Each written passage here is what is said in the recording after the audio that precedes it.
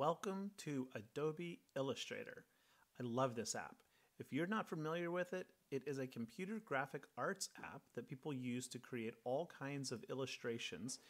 But it is also a very popular app for creating computer aided design images for laser cutting. So let's get started, shall we? Okay, I'm going to open Adobe Illustrator. My version is CS 5.1, which is quite old, but it will work for any version as this is an introduction. Now, when I opened Illustrator, you notice I've got a bunch of windows around the side of the screen, but nothing in the middle. My students often think that this means the app is broken or that it doesn't work. Actually, it's working perfectly fine. Unlike Pages or Word or uh, PowerPoint, Illustrator doesn't know what size of an image you want to create. You have to tell it that before you can do anything. So let's make a new file by going to the menu bar that says File and going to the first option, New. And there's a couple things we need to pay attention to here. First is the size. What size do you want? There's a bunch of presets, international paper, and then um, US sizes like letter and legal. I'm just going to leave it on A4. It's pretty standard. And you can see the height and the width here measured in millimeters. You can change that to a number of different measurements, but for design, you probably want to leave it in millimeters or centimeters, but millimeters is much preferred. So make sure your preset right now, your units, is set to millimeters. Under Advanced, down below, make sure your color mode is set to CMYK, although that really also doesn't matter much for computer-aided design right now. Give this document a name. I'm just going to give it my name, Joel, and press OK. Now, voila, we have a document to work with. Now, before I start to explain what Illustrator is, I'm going to jump over to Photoshop and give you an understanding of the differences. A little bit of background. Most people have used some kind of a painting program like Photoshop or Paint on Windows or something similar. Even on your iPhone or iPad, you probably painted something. And that's what Photoshop does.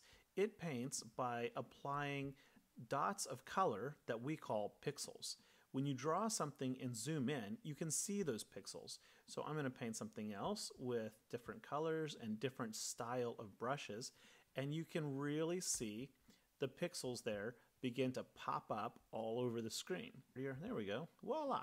So these are pixels, one square dot of color. And as you zoom out, they all blend together. And if you zoom far enough out, it looks nice and smooth.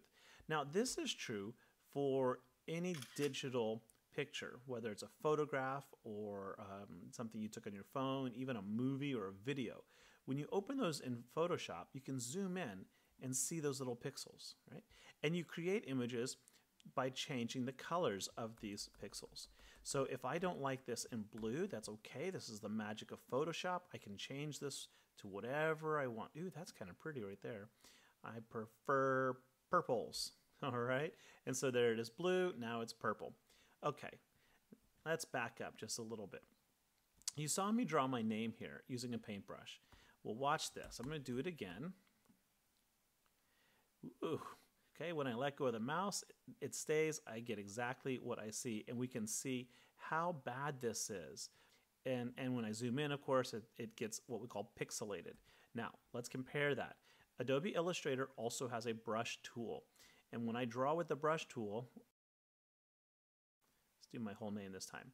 Watch what happens when I let go. Poof. Magically, it all smoothed out.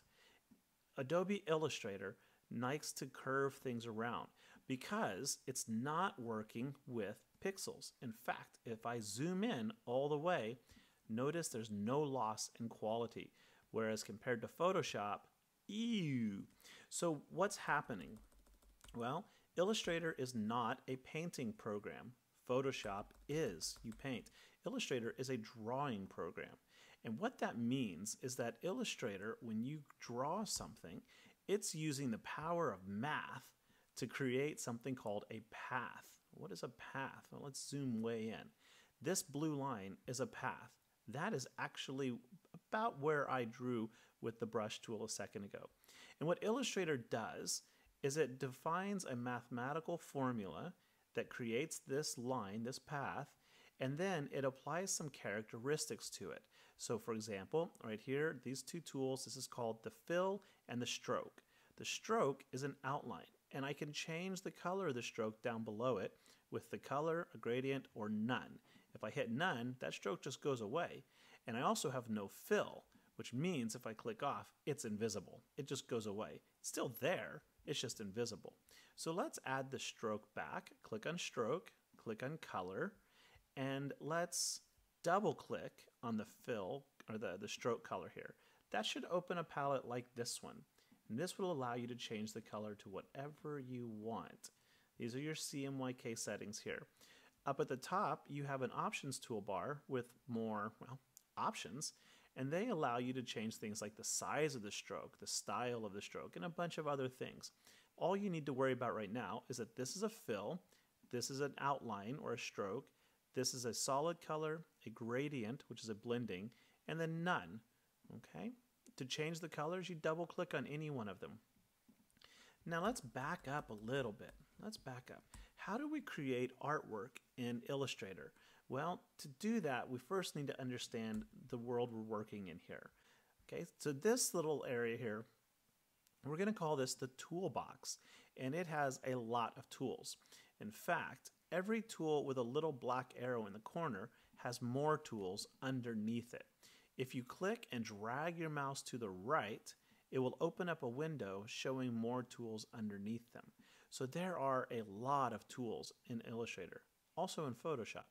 We have the menu bar across the top, so menu bar and toolbox. I'm going to call this the options bar, although I do believe it is technically called the control. Let's see. Yep, there it goes. Control. So control or options bar. On the right, we have a lot of what are called palettes. These are windows with tons of options. I prefer to keep mine collapsed like this and only use them when needed. Today's objective is to learn about the following tools. The Select tool, the Direct Select tool, the Shapes tool, the Pen tool, the Fill tool, and the Stroke tool. Now I've already shown you two of these. This is the fill, this is the stroke. So let's talk about the shapes tool. Underneath the T for text, we have a rectangle. Watch this. If I click and drag, I have a rectangle. If I click and drag again, I can make as many of these as I want. And right now you see they're all orange and there's no filling to them. Well, if I were to change the color, maybe I double click on the stroke or the, the, the color option, again, I get this little window. I can change it. It's green. In the control up here, I can change the size of it. How do I change these others? Because if I click, I just keep getting more rectangles.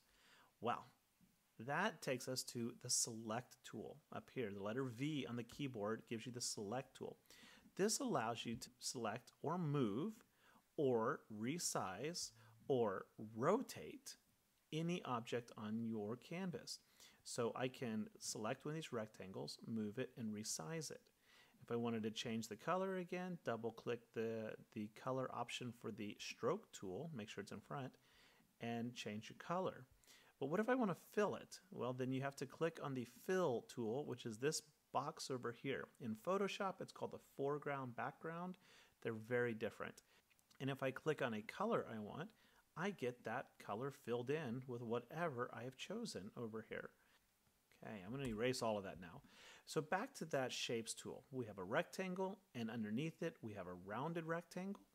Underneath that we have an ellipse tool which draws circles and ellipses. Underneath that we have a polygon tool which is a little more complicated but I'll get to it later. And then we have some others. We have a star tool and then one I want you to avoid right now which means you're going to click on it. Please don't because depending on the power of your computer, it can do some crazy things and slow you way down. All right, you're probably going, whoa, what was that? Yes, I know, don't play with it.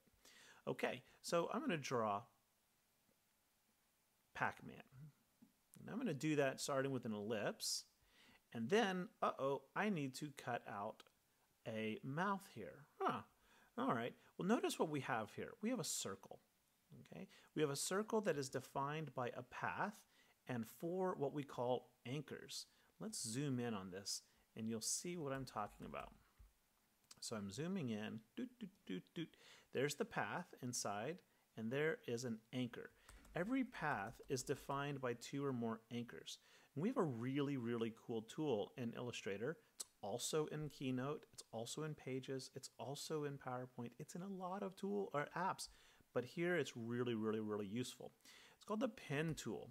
It's over here next to the T on the left. The Pen tool, when you click on it, everywhere you click on your canvas, it creates an anchor. And as you click more anchors, they get connected to create paths. To fill in a shape, you go back to the beginning point where you started. So a simple triangle would be four clicks, three for the corners and one to complete it at the end. Right? Okay, so I said I wanted to make Pac-Man. So to do that, I have to draw a triangle where the mouth would be. And right now you're saying, hey, Mr. Sutton, you didn't draw a Pac-Man, you drew a fish or something weird, right? Because here's a path and there's a series of paths, and together they don't make anything cool. Well, actually, they do. The way we often build things in Illustrator is kind of using one shape to combine with another shape or subtract, cut away the other shape. So what I'm going to do is I'm going to take this circle, I'm going to take the triangle I drew with, again, the pen tool up here, and I'm going to use the select tool to select them both, and I'm going to cut the triangle out of the circle. How do I do that? This is going to be our first palette that we're going to look at besides colors. You may not have it open here, so I'm going to show you where to find it. All palettes can be found under the window menu up here. Window, and then you scroll down and these are different palettes. What we want is called the Pathfinder. This is going to be your best friend. So Pathfinder, when we open it, gives us this window right here. The Pathfinder allows us to unite or combine two or more shapes together, subtract whatever shape is in the front from the one behind it, and some other stuff. Ignore those for now.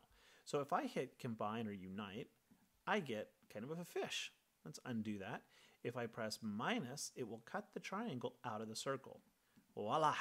We have Pac-Man. Ha ha ha ha ha. Let's try this again and let's make, I don't know, a stick figure. So here we go, ellipse tool. Again, that's under the rectangle. Draw a little head. Now I'm going to draw a body. So I'm going to draw a rectangle on top of it. I'm going to draw a rectangle for a leg. With the select tool, I'm going to select it. I'm going to copy and paste it. So I have two of these now. And I'm just going to move these over here together. I'm going to copy and paste one more. And with this one, I'm going to rotate it a little bit to make an arm. There we go. And I'll make it a little shorter.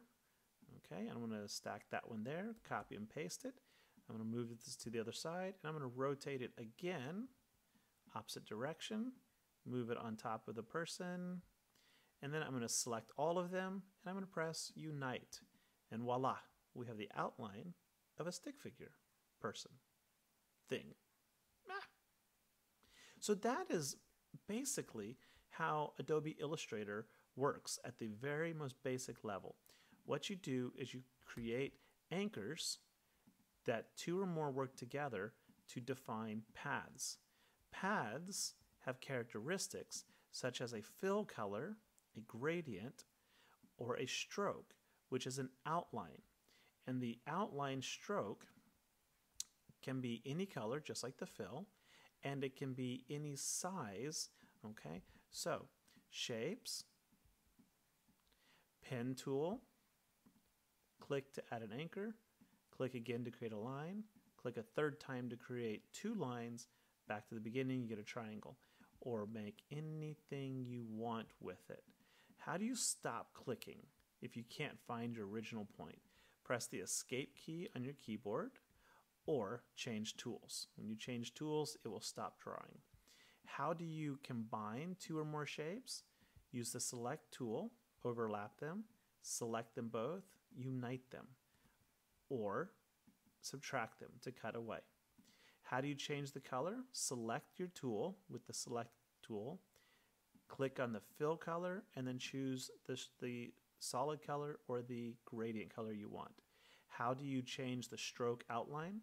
Select your shape, click on the stroke tool, click the color you want, double click, or no outline, or in the control option bar up top, change the size of the stroke to whatever you want.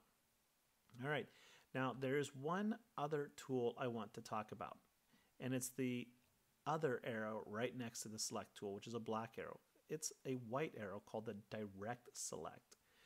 This tool is crazy cool and a little tricky. Select again allows us to select, to move, to resize, and to rotate. Direct select does something similar, except instead of grabbing just the entire shape, it's selecting the anchors. So if I get the direct select, I can then click on or double click an anchor and move that to redefine the shape that I have just drawn. This allows you to customize an, uh, any shape into an infinite number of possibilities. All right, this has been an absolute brief crash course in Adobe Illustrator. So your job is to take the tutorials posted on ManageBac and work your way through the first one. It's called the crayon box. And then if you have completed that, I want you next to try the, which one is it? The ghost tutorial. And if you've completed that one, then I want you to try any one of the other cartoon character tutorials that I've posted. If you have questions, of course, email me and I will answer as soon as possible.